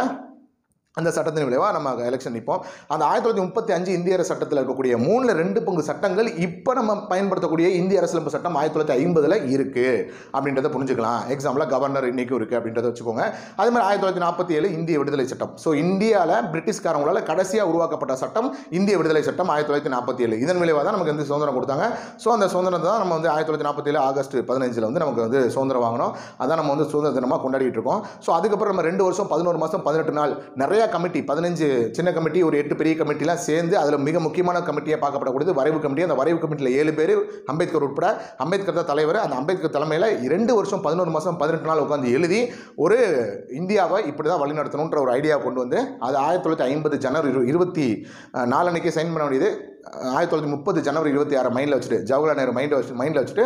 ஆயிரத்தி தொள்ளாயிரத்தி ஐம்பது ஜனவரி இருபத்தாறு அன்னைக்கு இந்திய மக்களாகிய எங்களால் உருவாக்கப்பட்ட இந்திய அரசியலமைப்பு சட்டம் இந்திய மக்களால் ஏற்றுக்கொள்ளப்பட்டதுன்னு சொல்லி அறிவிச்சு விட்டாங்க நம்ம அரசியல் நிலைய சபையில் இருக்கக்கூடிய நபர்கள்லாம் சேர்ந்து அந்த அரசியல் நிலைய சபையோட வரலாறு அதோட ஸ்டோரிஸ்லாம் வந்து அடுத்தடுத்த கிளாஸில் நான் சொல்கிறேன் ஸோ அப்படி உருவாக்கப்பட்ட சட்டம் தான் ஆயிரத்தி தொள்ளாயிரத்தி ஐம்பது இந்திய